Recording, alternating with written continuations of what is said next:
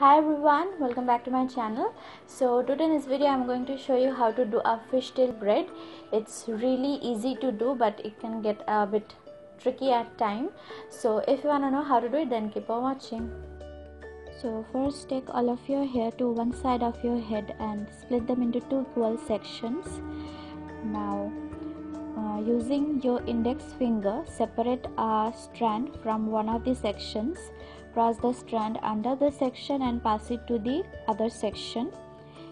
From that other section separate another strand cross it under the section and pass it to the previous section.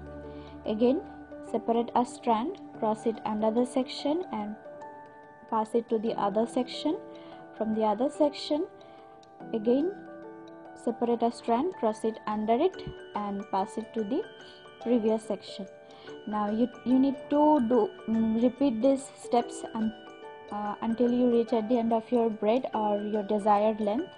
But the thing you need to remember is while doing this braid you have to uh, hold both the strands tightly in your hand. Because if you let them loose or if you loosely braid them they can come out from the braid and it can get a bit messy so remember to hold them tightly in your hands. So again separate a strand cross it under pass it to the other section. From the other section separate a strand cross it under and pass it to the previous section. So these are the simple steps. It can get a bit difficult uh, in the beginning but if you uh, like try it two to three times. I'm sure you can get it. So if you have layers in your hair then um, i'll suggest that before doing the braid uh, apply some hair product of your choice to your hair to hold your hair in place or the ends of your hair can stick out from the braid. Uh, but if your if all of your hair are are of one length then you don't need to worry. Just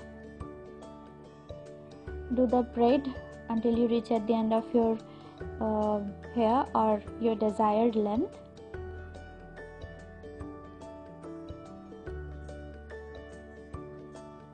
So when you are complete with your braid just take a hair tie and secure your braid with the hair tie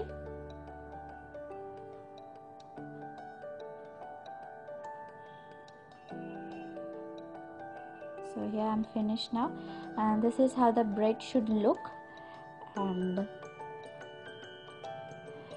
this video a thumbs up and comment down below if you have any other video suggestions and let me know how you like like this video and i'll talk to you guys later in my next video. Bye